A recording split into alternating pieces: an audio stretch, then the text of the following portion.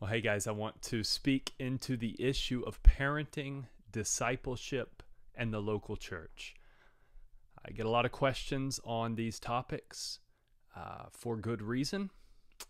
Parenting is an all consuming responsibility, and we want to be faithful to do it well. Uh, and so, parenting, discipleship, and the local church, and the intersect of all of those things uh, just is something that we're thinking about and we're trying to be faithful in.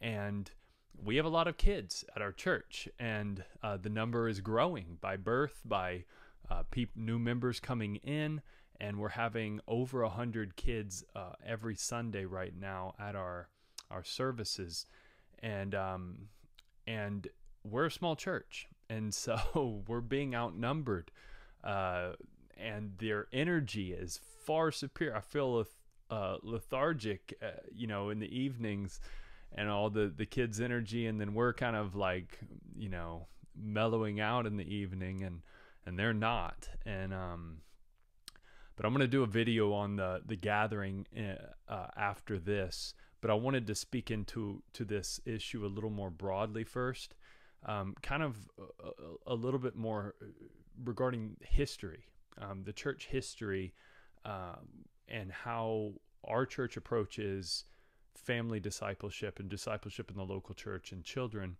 Um, and so there's a few books, you know, I would I would recommend. Um, one, this is just more broadly on parenting. Um, Tedd Tripp, Shepherding a Child's Heart. Uh, this has been read. Many of you have read this, I'm sure, are familiar. Um, it's a great book. Uh, you should read it at some point. Family Shepherds by Voddie Baucham. We just finished this in the men's internship, uh, so I reread it last month. Excellent. Every man, look, women, y'all looking for gifts for your dad? Here, here we go. For the husband, there we go. Uh, Family Shepherds by Voddie Baucham. Every chapter is excellent. This is where I'm more coming from uh, in this video, and what I'm going to say is The Godly Home by Richard Baxter. Uh, you know, I, have been more influenced personally by the Puritans, by by the Reformers. Uh, there's a book up here. It's called right here called the uh, Theology of the Family, and it's actually published in com- it's a bunch of compiled sermons from Reform- post Reformation and Puritan uh, era on parenting. Uh, it's on marriage and other things as well, but it has a lot on parenting and um, and the leadership of our home. And i have just been highly influenced by uh, what I believe is the most healthy time in church history, uh, early Baptist history, um, in the in in the Puritans regarding parenting and and family worship and things of that nature. So I'm I'm I'm coming from that perspective. Um, let me back up and say there's a few ways that churches have de- dealt with the issue of children uh, in in the corporate gathering uh, historically. And you know some just shorten the service right? That's a easy practical thing. How do you make it easier on parents with kids? You just shorten the service. Um, i'm i'm not inclined to want to do that. I mean maybe we shorten it five minutes. I don't know how much that even helps. But in terms of substantially shortening a service to an hour or less um, I, I think too much is lost by that type of move. And again, this this goes back to formative influences and how uh, how we understand what a healthy and mature church is. We're aimed at becoming and being a healthy, mature church. Um, it seems to me historically the times that the church uh, the church was healthiest is when the corporate gathering was meeting the most, not the least. Um, you know, so you go back to the Puritans and you you see they're they're meeting together four and five hours on Sundays, oftentimes with a morning and evening service, sometimes much longer than that. Um, I'm not advocating for that. I'm just saying to shorten a one service a week time that we all get together into an hour or less is not going to result in the type maturity and health that we're aiming for and the times where the church was the healthiest, which I believe was in the times of the Puritans, although not perfect, um, but healthiest, uh, there was a great emphasis on the corporate gathering, and those were long, and the kids were there, and that's the point I want to make: is that the kids were there. uh, in those services. So shortening the services uh, is just not going to be something we look at as a serious option. The liturgical um, path is certainly something that we have chosen. Uh, now you can overdo liturgy. Every church has a liturgy. Um, or the order of your service. I mean, there's some churches that I guess it's literally different every single week, um, but there's still some sort of liturgy there. But we're liturgical on purpose. We have a certain order to our worship. We we we uh, liturgy is also a very formative discipleship mechanism that the church has used historically to get engagement. So we read together, we sing unto one another and unto the Lord, we pray together. There's all these things that are very interactive. We receive the word eagerly. Um, it's not only biblical, but just historical that liturgy in a service is extremely important. Now, the Catholic Church has liturgy, but they centralize the ordinance at the centerpiece of the service. So the ordinance is central. Therefore, the the ministry of the word or the sermon is kind of a, a side issue. Um, from the Protestant tradition, uh, we centralize the word. We believe the gospel word, the proclaimed gospel, is the central, the centerpiece of the service, and therefore it's just going to take longer. You're going to have longer services than if you just simply have the ordinance be centralized. Um, and and so uh, now, uh, getting into more modern ways the church has done this, because if we go back and look at okay, for 1950 years essentially, the church had all the kids in the service. They didn't have, you know, Sunday school is a, a new invention. Is the 50s, you know, those things. The 60s and 70s, youth groups are coming out. So, what did the church do for 1950 years before that? Well, they had the kids there in the church. Now, the whole idea of children's church, and let me say, by definition, that whole term is just wrong. Okay? There is no such thing as a children's church. Uh, the church is baptized believers with the gospel centralized, who have the, the, the proper use of the ordinances. You have or you have uh, qualified leadership. That you, you have this gathered, regenerate church. When you take the kids out of that and put them into another room, that's not children's church. That's just taking your kids out of the church. And what's tragic about this is that many times a, a, a, child is removed from the church at a young age, put into children's church. They grow up into that, then they go into youth group setting or something, and then they end up going into college and they leave the church. My argument would be they never really experienced the church. You took them out of the church and took them away from the life of the church, the, the gospel where the Holy Spirit most powerfully works through the corporate means of grace. You remove them from all of that. And so what they're rejecting isn't the church, they're rejecting whatever they experienced in those kids' classes. And so that's a new invention. That's 60, 70 years old at the oldest. Historically, the church never did that. Um, and so some people, when they hear that, they go, oh, okay, so you're family integrated. No, uh, we're not family integrated. Now I know some churches that were fam what they mean by family integrated is they rent a building, they don't have any rooms for the kids, and therefore all the kids are in the service. Um, because family integrated means you don't provide nurseries and stuff and you're all in the service. Um, but a lot of people, what they mean by family integrated is that uh, that the infants, even the, the young children especially, are saints. They're all believers. They're all Christians. Um, they're fully saved, they're fully Christian, and therefore to remove your kids from the service is to divide your church. It's to do a church split, right? To move your kids out of the service. So, of course, they're there. But we're not coming from that perspective as Baptists.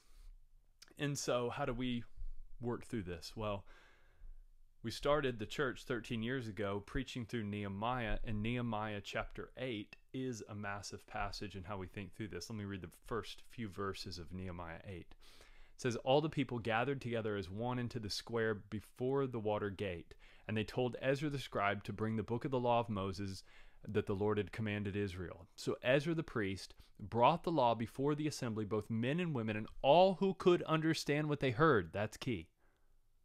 And on the first day of the seventh month, he read from it facing the square before the water gate from early morning until midday. So, not an hour, not a two hour service, early morning to midday, in the presence of the men and the women and those who could understand. So, are all the circumcised Jewish kids there in the service? No. Just those who could understand were required to come. And it says, The ears of all the people, including the children, were attentive to the book of the law, and Ezra the scribe stood on a wooden platform, pulpit, uh, that they had made for the purpose. So he's preaching the word of God. This is the corporate gathering in the old covenant. And all the circumcised children, kids, young kids, were not there. Just the ones who were able to understand were expected to come. Principle built off of that is uh, that it's not wrong biblically to have a nursery for those who are unable to understand. I don't think that's a far jump from that text to principleize that and to say we are permitted to have a nursery for kids who are unable to understand um, so that those who are able to understand won't be distracted, namely the parents, but maybe people around them. And that we can have some ladies in the church serve those families uh, when we have an, a massive influx of young children like our church does. So we provide a nursery for parents who know their child isn't ready to participate in worship or understand so that that parent isn't distracted and so that they that child doesn't distract others if they're not able to understand. Now if a parent goes well my 4-year-old I think they're able to understand. We do family worship. They're used to sitting. They can pay attention. They're getting some stuff. I want them there. Great. Bring them bring them uh, it, this is the parent's call at the end of the day. But what we're saying is um, the scripture gives a, a, principle that those who are able to understand are the ones that were required to come to the corporate gathering. Um, those who are not able to understand were not required or, or expected because they couldn't understand anyway. Um, and so to have them in nursery so that their parents who are exhausted from parenting all week can understand um, can worship and be revived uh, seems to be a prudent, wise thing to do. And I would say for those five, six, seven year olds, eight year olds that are coming into the service that are there with us, they get a lot more than you than you would think. I mean, even my six year old youngest son, he gets a lot from the service. I don't think he's ever listening, but he he, he tells me things, and I'm going, he, the, boy's listening.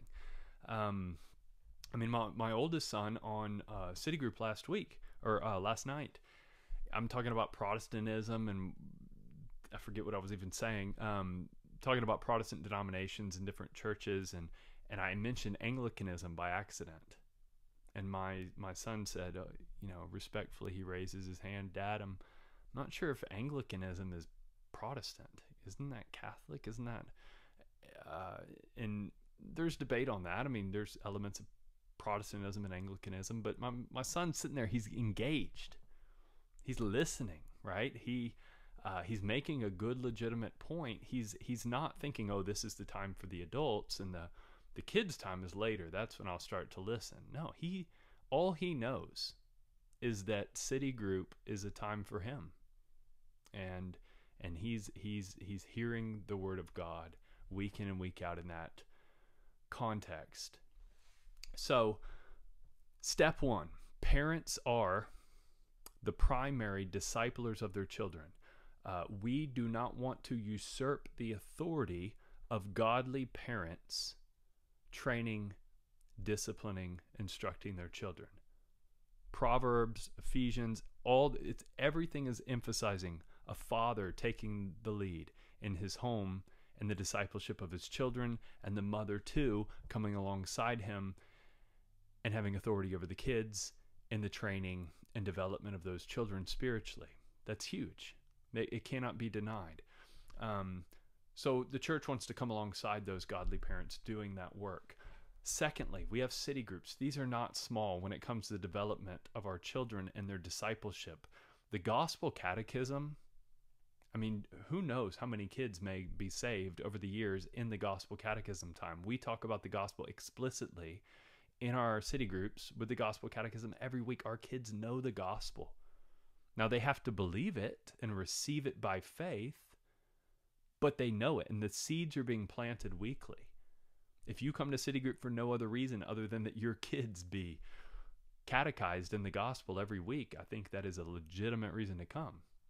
Um, not to mention that they're singing with their city group, they're fellowshipping and eating and, and, and, and building relationships and bearing the burdens of those in that group. This is where the church happens.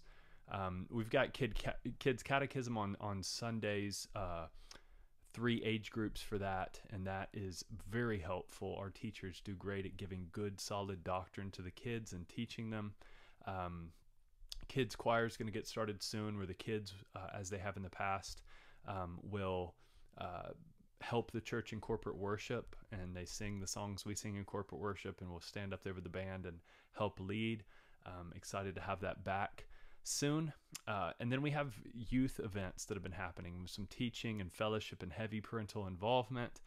And I'm very excited for the teaching that will be happening to the youth more and more, especially as we get into the new building. And then the corporate gathering. That is central. Other than the parents teaching all through the week and God's responsibility that He gives to them, uh, the corporate gathering on Sunday is massive for the development of our children. And I'm going to do a whole video on this next. Um, so I'll put it in the I'll put the link in the the description to this. Um, but we must gather with the local church on Sunday and see that as a primary place where God will, will save our children, uh, where God will help us disciple our children, where we call them to worship the God who made them, who loves them, who sent His Son to bring them in, and um, and there's a lot I want to say on that. Um, I'll stop it here on that. I, I, I hope you will re you will listen or watch this uh, this next video on corporate worship um, and the kids engaged in corporate worship because it really is a part two to this. So I'll, I'll land the plane here. Blessings, guys. Um, talk to you soon. Bye.